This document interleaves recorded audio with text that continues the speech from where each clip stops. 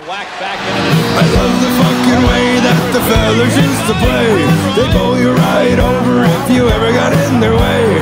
But now, if you slow them down a bit, you're in the box. And you sit there longer, longer till the time runs off the clock. If fellers square off, then you have to let them go. One ref steps in, feller's a blow. You have to wait until they're done, till one falls like a tree. Besides, everyone loves a Donnybrook, that's what they paid to see. It's old time hockey, the way you're supposed to play. You throw a little lumber if a guy gets in your way. You play like Gordie Howe Eddie fucking Shore. We can't all be Gretzky, some user Bobby Orrs. Hey! And the Flames, four of them get out. Up to center and coming in is Loob. Nieuwendyk center net. McDonald scores! McDonald!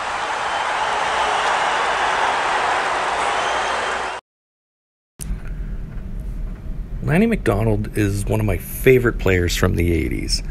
It's definitely not because his mustache reminds me of my dad's while I was growing up, but it was just the player that he was. Lanny McDonald was drafted in 1973 by the Toronto Maple Leafs, fourth overall in the NHL amateur entry draft. During his time with the Leafs, he had three consecutive 40 goal seasons. His greatest moment with the Leafs came in the 1978 Stanley Cup quarterfinals when he scored an overtime game winner against the New York Islanders, who were favored to win the series and to go on to win the Cup.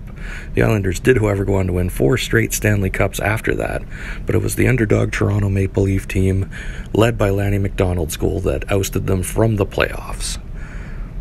In 1979, things took a turn for the worse. Toronto assigned Punch Imlach as the new head coach. The two butted heads, as Lanny was the Maple Leafs rep for the NHLPA at the time. This forced the Leafs general manager to trade Lanny to the Colorado Rockies out of spite. McDonald spent part of three seasons with the struggling Rockies franchise.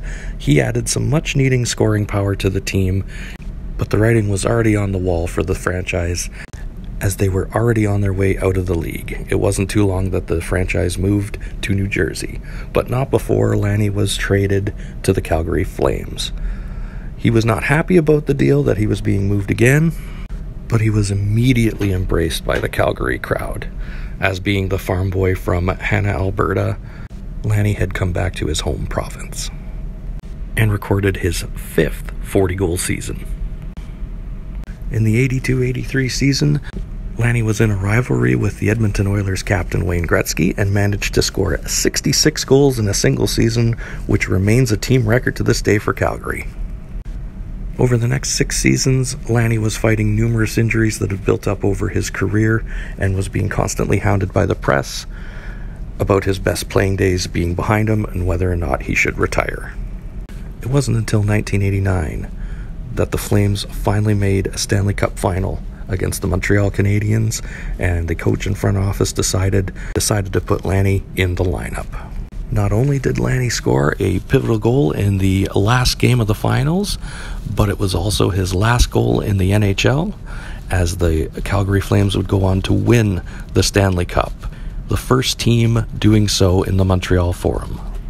It was also in this season that Lanny recorded his 500th goal and 1000th point. After his retirement, Lanny has been involved with many charities, including Alberta Children's Hospitals, Cancer Research, and continuously touring with the Hockey Hall of Fame exhibition team around Canada.